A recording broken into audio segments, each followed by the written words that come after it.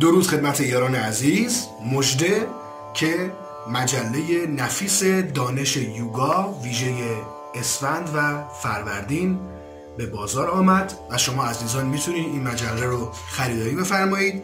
صاحب امتیاز و مدیر مسئول این مجله جناب آقای عبدالحمید موحدی ناینی و سردبیر این مجله خانم شهلا قاسمیان دستجردی هستند و من هم افتخار داشتم که در این مجله یک مقاله بسیار بسیار خاص بنویسم که شما فالوورای عزیزم رو دعوت می‌کنم که این مقاله رو حتما بخونید به نام اعثار آگاهی بشر.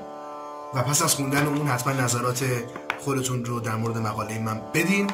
خوشحال میشم که هرچه بیشتر بیشتر در مورد یوگا و در مورد علوم عرفانی بدانید و بدونید که ما در مجله دانش یوگا در کنار شما هستیم.